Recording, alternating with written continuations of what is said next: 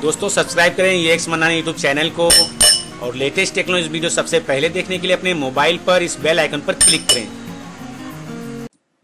दोस्तों, आज के इस वीडियो में हम आपसे बात करने वाले हैं मेरिकल बॉक्स मेरिकल ठंडर के बारे में। जैसे कि हम सबको पता है कि मेरिकल बॉक्स या मेरिकल ठंडर डोंगल जब आप यूज़ करते हैं तो एक साल के बाद जो है वो एक्सपायर हो जाता है, उसे आपको रिन्यूअल करना पड़ता है। तो पहले क्या सिस्टम था कि अगर आपका मेडिकल बॉक्स जो है एक्सपायर हो गया तो उसे आपको रिन्यूअल करना पड़ेगा और उसका प्राइस था कंपनी का अठारह सौ पचास रुपये प्राइस था इंडियन रुपीस में, ठीक है? तो अठारह सौ पचास रुपये में आप एक्टिवेट करवाते थे या इससे कोई कम में भी कर सकता था, इससे कोई मतलब नहीं है, लेकिन कंपनी का जो प्राइस था वो अठारह सौ पचास रुपये प्राइस था, ठीक है?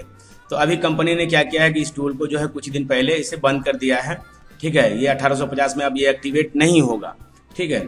तो कंपनी ने अब इसका जो है प्लान चेंज कर दिया है। तो प्लान क्या चेंज किया? चलिए इसके बारे में आपको बताते हैं यहाँ पे। चलिए गूगल क्रोम हम ओपन करते हैं। अगर आपको देखना है तो आप भी यहाँ पे देख सकते हैं। गूगल में आपको लिखना है मेरेकल सेटअप जीएसएम ठीक है? जैसे आप मेरिकल सेटअप जीएसएम लिखेंगे और सर्च मारेंगे सबसे ऊपर में आपको जीएसएम फॉर्म का लिंक मिल जाएगा। इस पर आपको क्लिक करना है। इस पर क्लिक करने के बाद आप यहाँ पे देख सकते हैं कि मेडिकल थंडर मेन सेटअप का जो, जो रिन्यूअल था वन ईयर का उसे बंद कर दिया है। अब यहाँ पे इन्होंने लिखा है मेडिकल थंडर बंडल पैक, ठीक है? तो ये बंडल पैक के नाम से आप इन्होंने जो है निकाला है और इसकी, इसमें क्या है? चलिए मैं आपको दिखाता हूँ इसे।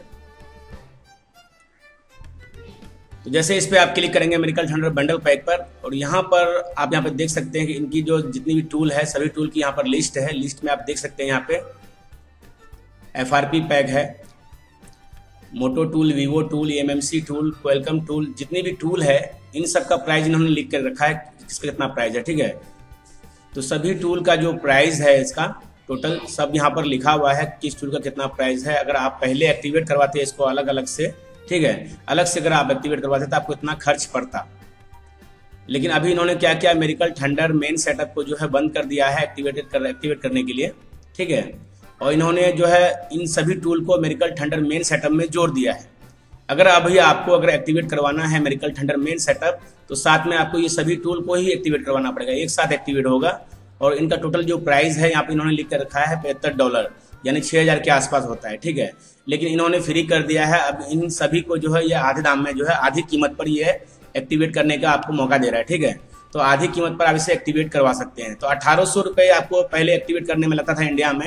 अठारह सौ पचास, अठारह सौ, उन्नीस सौ, दो हज़ार, जो भी आप करवाते थे ठीक है? लेकिन अभी अगर आपको एक्टिवेट करवाना है ये टोटल टूल तो आपको अट्ठाईस सौ रुपये में एक्टिवेट करवाना पड़ेगा, ठीक है?